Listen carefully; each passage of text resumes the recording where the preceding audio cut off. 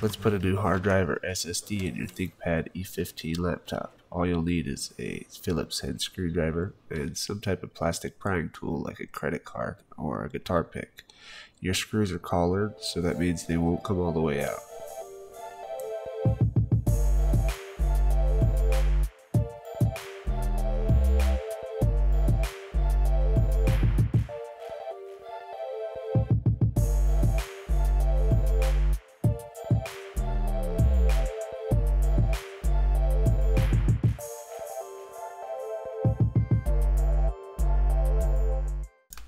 Once you get all your screws loosened, you can start undoing all the clips that go all the way around. It's actually super easy. Just start on this quarter here, go all the way across. You're just slightly pushing in and sliding across. Do the same thing on this side.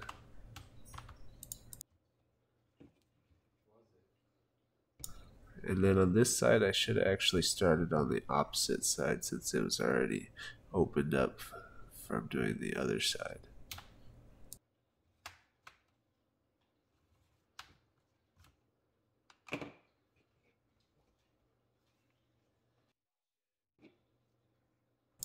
Once you go all the way around, the cover will just come right off.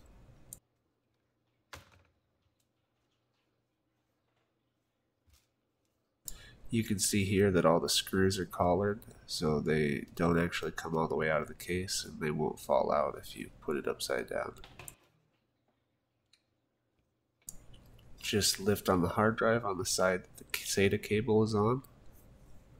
This will just slide right out.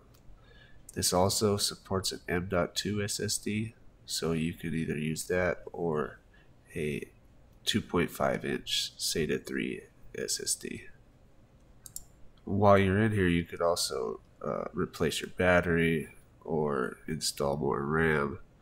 Uh, this is where your wireless card is located, and your USB port on the left hand side is its own separate board, so you can replace that if needed as well.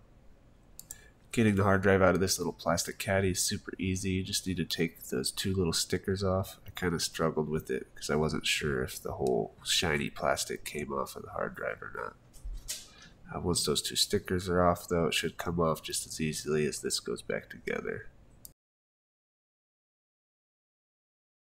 Now just slide that in first, just like so, and then reconnect your SATA cable.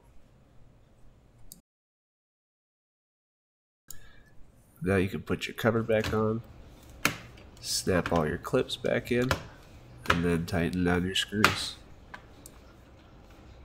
It's really that easy.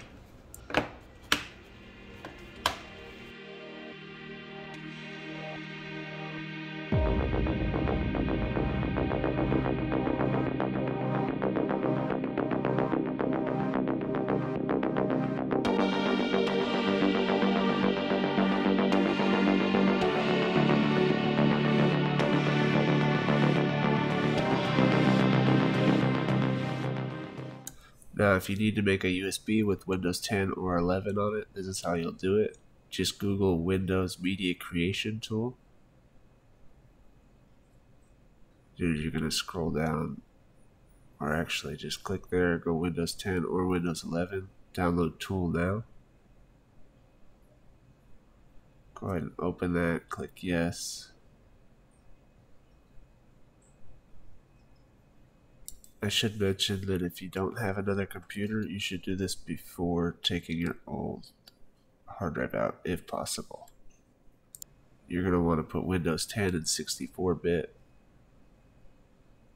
and make a USB flash drive. It needs to be at least 8 gigabytes. Go ahead and insert your flash drive, refresh if needed.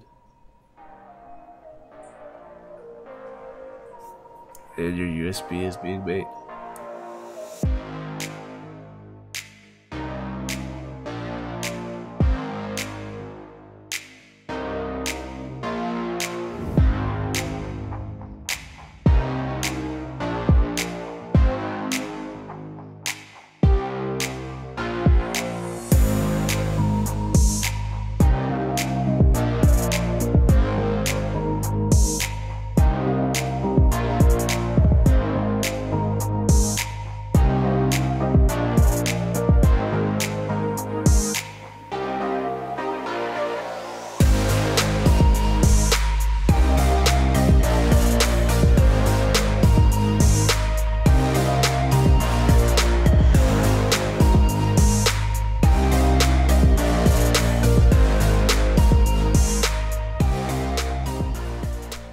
Now just make sure the power is off to your PC, insert your flash drive, hit the power button, then spam F12 a couple times, and that'll take you into your boot menu.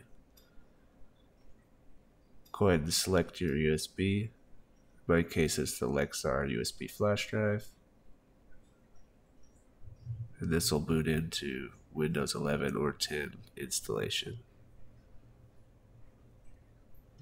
May take a minute.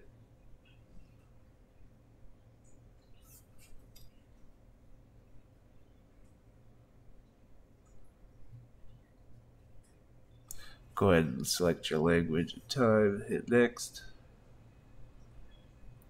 Install now.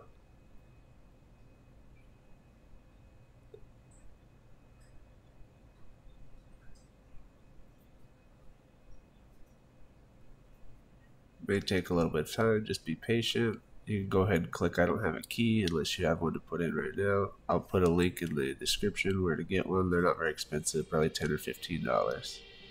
I'm going to do Windows 10 Pro.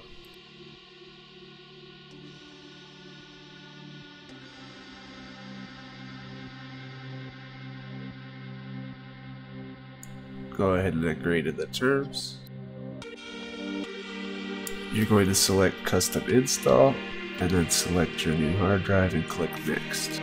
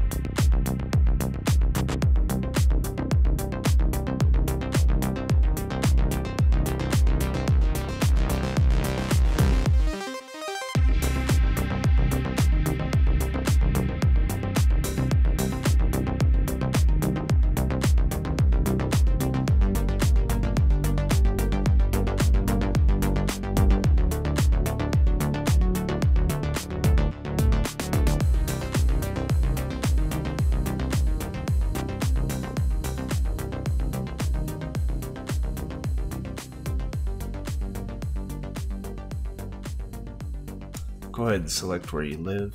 And if you're doing Windows 11, uh, just go ahead and follow the prompts. Should be very, very similar to this.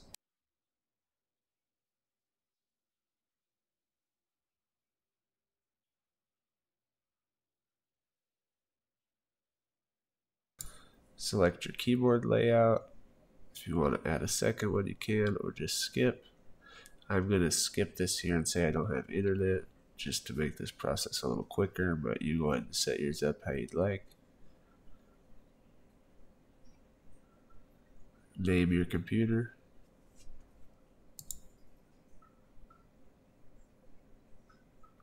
And enter a password. And then I like to turn off the tailored experiences and the advertising ID.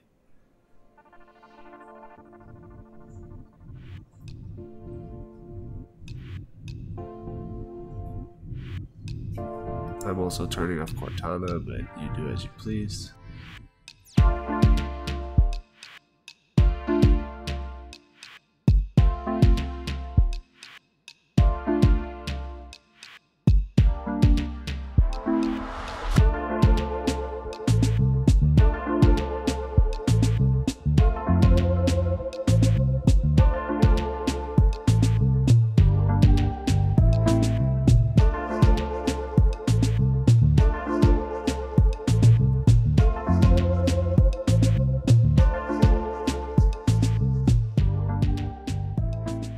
And there's your fresh install. If this helped you out, please give me a like and a subscribe. That'll help me out.